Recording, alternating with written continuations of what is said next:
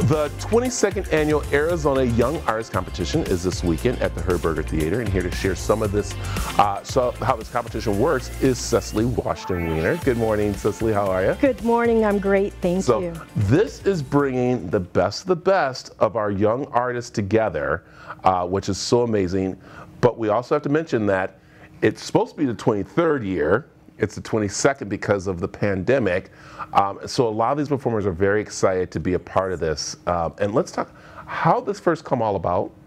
Yes, so the great and late Frances Smith from Center Dance Ensemble was the founder of the Arizona Young Artist Competition along with Arlene Brewster. Yeah, and, and so, and it's great because this is the opportunity for our students to shine on a little bit on their own, also together, uh, which is so important because this is where they get to move on to college or on to other performing arts of what they want to do. And that's why this competition is so important. Yes, it is. It provides a wonderful experience, especially for those who want to take their art to another level. Yeah. So the competition in the categories of dance, uh, musical theater voice, classical voice, and acting.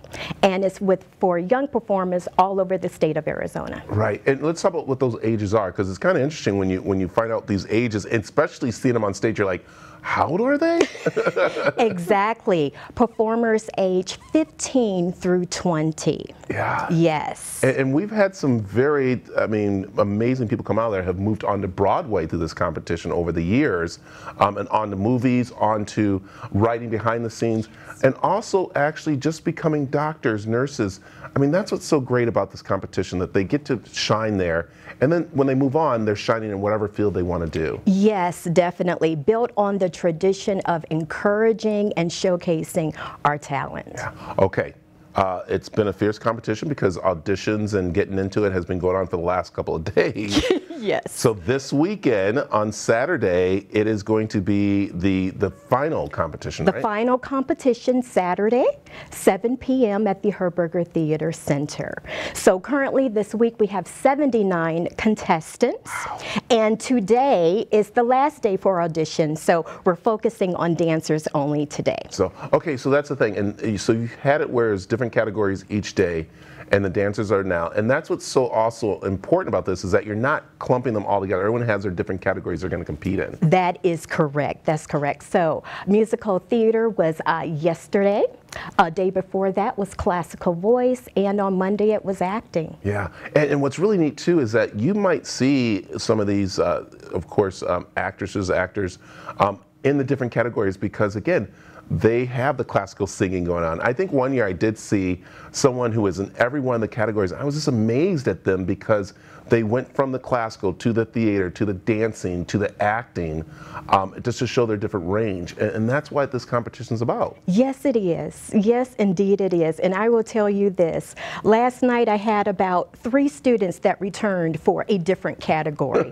so, I mean, it's just absolutely wonderful that they're, you know, that they're learning all of these different art forms and able to just share it and just showcase it. Yeah. So it's a really big deal. It is. And, and, and them getting up on that stage is a big deal because I have kids in theater because this is what they're going to go through when they step into, as we can say, the real world That's of. Right of arts where the auditions are like this, and that's what you, you teach them. Yes, we do. We have an esteemed panel of judges um, for every category, our adjudicators, and then, of course, that big Saturday night, um, they will be selected. Each of the winners will receive $1,500, and then we also have that wonderful People's Choice Award where the contestants will be able to win $100. Wow. So that's awesome. And they want you to go out there and support because that's what we really need right now supporting our arts with everything that's gone on Broadway and theater and everywhere. So this is your opportunity.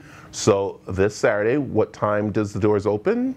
Doors open at 6:30 p.m. and the show starts at 7 p.m. There you go. And you want to get down there? Tickets are available? Yes, they are available. $10 for adults, $5 for students. There you go. And if you want to uh, go and see if your child wants to be in this, this is where you take them to see them put these points, and then it's amazing to see. So.